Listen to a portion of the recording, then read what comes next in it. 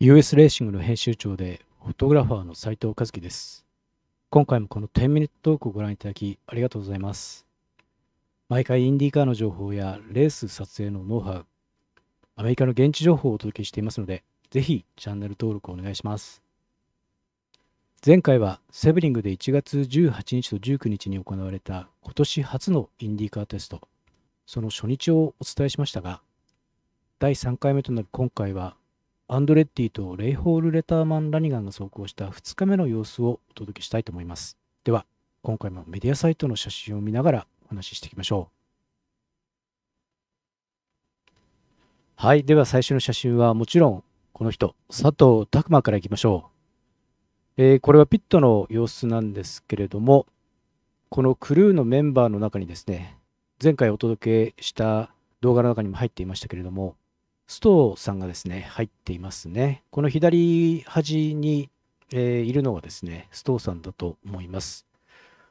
まあ、これを見る限りではですね、えー今回からというか今年から、えー30号車のですね、車の担当になるのかなというふうに思いますね。で、車に入るときにですね、必ずあのシートベルトを担当するクルーがいるんですけれども、前回の動画ではその写真もあって、えーこれはひょっとしたら、えーストーさんがですね、車に入るときの担当になるんではないかなというふうに、えー思います。で、他のクルーに関してはですね、えーちょっとマスクをしていることもあって、えーなかなか見分けがつかない感じもあるんですけれども、おそらく半分ぐらいは同じじゃないかなというふうに思いますね。はい。で、これはピットでの佐藤拓磨になります。かなり低い位置からですね、えー太陽の光が入ってきて、少し眩しそうな印象もありますけれども、まあなんかあの、えースポットでこう光が差し込んでる感じがあって、非常にいい写真ですね。で、えーこれはまた別の時間帯におそらく撮ったものだと思うんですが、え全体に影になっている時に、え撮ったものだと思います。あのなかなかこのエアロスクリーンを通してのドライバーの撮影っていうのは、あの、去年まあ初めてやってみたんですけど、かなり難しかったですね。うん、で、もろ太陽が入っているような時は、日陰になって全然見えないんですよ。あの、この前の写真ありましたね。まあ、これはあの直接あの低い位置から入ってきてるんで、とまあ、いい雰囲気になるんですけれども、これが上にあるとですね、えーこの部分の、おなんていうか、影が目のあたりにできてしまってですね、で、まあ、それ以前にこのスクリーン全体が太陽に当たっているというだけで、反射してですね、あの、PL フィルターとかいろいろ使ってみたんですけれども、かなり撮影が難しかったです。はい。はい、こちらはピットから出ていく佐藤拓磨ですね。土逆光の写真なんですけども、あの、レンズのフレアが入って非常に綺麗ですよね。はい。これでホイールスピンなんかしてたりしたらもっといいんですけどね。なかなかこっちの希望通りにはいかないもんで、えーまあ、その、そういうこともあるんで、撮ってて楽しいんですけどね。はい。はい。で、こちらは上から撮影した写真になるわけなんですけれども、えーこれはターン7のですね、本当に内側のギリギリのところを走っているところになります。ここからわかることっていうのも非常に少ないですけども、えーなんかあの、リアウィングの翼端板のですね、30っていうのがすごく大きく見えるんですが、えーこれは去年からですね、えー大きくなっていたんですね。で、なかなかこの点にですね、気づくほど、もう現場ではいっぱいいっぱいだったんで、あの、去年をですね、そこまで気にしてというか意識して撮ってはいなかったので、今改めてこうやって見るとですね、30の文字がすごく大きいなっていうのが、えー感じがしますね。はい。エアロスクリーンのフレームのですね、えー下の方までカッティングシートが貼ってありますね。この黒く。で、見える部分をですね、えー非常にこう狭くしているんですけれども、まあこれがですね、えー佐藤拓磨の好みということなんでしょうね。はい。はい。で、これはマシンから降りてクルーと話しているところだと思うんですけれども、まあ、この感じを見る限り、それほど気温は低くはないのかなっていうふうに思いますけれども、あの、フロリダって結構1月でも寒い時があるんでね、えーちょっと油断しているとかなり寒くて、あの風邪をひいたりするようなこともあるんで、この日はそんなに寒くないコンディションだったのかなっていうふうに思います。はい。で、今年お父さんになったばかりのグラーム・レイホールです。ね。太陽がいい感じで入ってきてますね。えー子供が生まれてから初テストということになるんでしょうかね、今回が。はい。で、こちらはですね、えー15号車グラーム・レイホールのステアリングになります。あの、同じチームの佐藤拓磨のステアリングとはですね、えー若干違うというか、えー30号車に関してはですね、かなりあの、佐藤琢磨が好きなそのレイアウトというか、まあ、手が小さいので、それに合わせてですね、いろんな部分を変更して、えーモディファイしているステアリングになりますね。で、えーグレアムの場合はですね、全然そういう必要がないというか、そのまま使えるようなので、特に何かをいじっているというようなことは、この写真からはわからないですね。はい。で、こちらはですね、え27号車になります。えーアレクサンダー・ロッシュの車になるんですけれども、今年からカラーリングが変わりましたね。はい。えー青が非常にこう多くなってですね、で、えーラインがですね、あの、全く去年までとは違う、えーまあ、デザインになって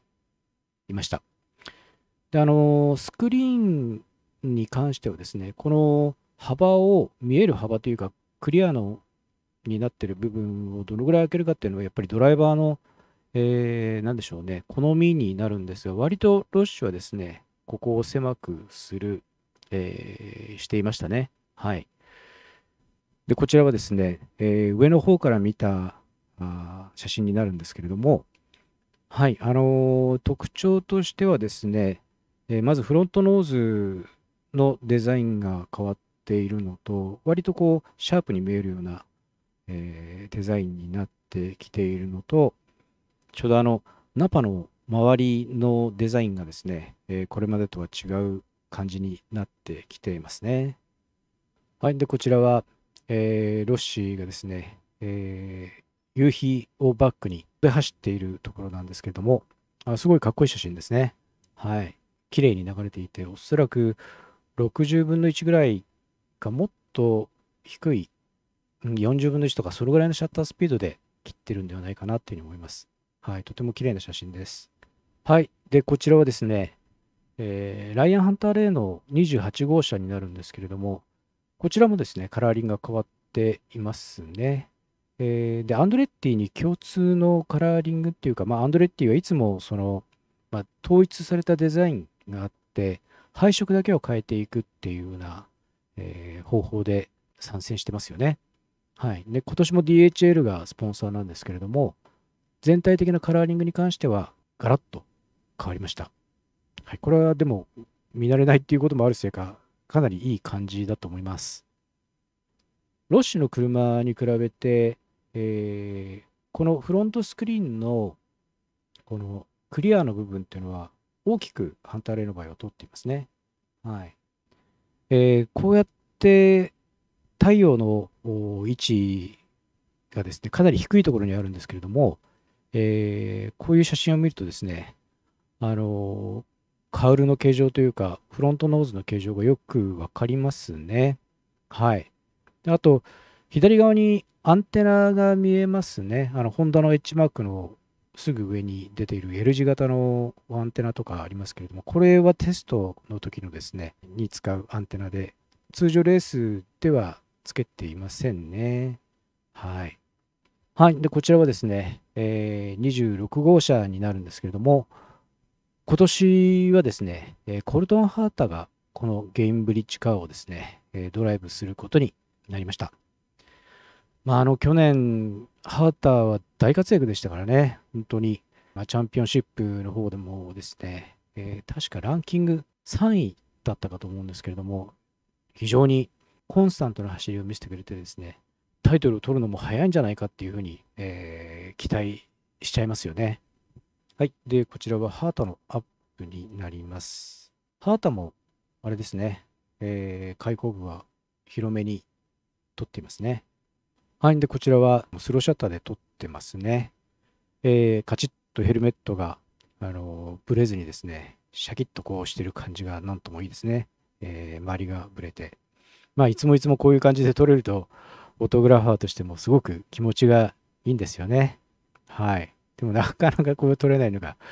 この難しいところで、まあだから面白いっていうのもあるんですけれども、はい。はい、こちらはあの26号車を上から見た感じですけれども、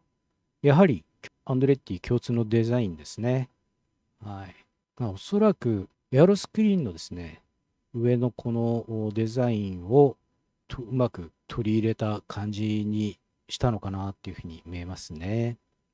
はい。で、こちらは、あの、ジャック・ハーベイの車ですけれども、えー、これは特段昨年とは、えー、変わりがないように見えます。はい。はい。ということで、えー、2回にわたって今年初テストの様子をお伝えしましたが、いかがでしたでしょうか？いいねをクリックしていただくとですね、YouTube のアルゴリズムがですね、働いておすすめ動画の上位に来るそうなので、えー、まあ、多くの方に見ていただくためにもですね、ぜひクリックしていただければと思います。では、また次回もご覧ください。お疲れ様でした。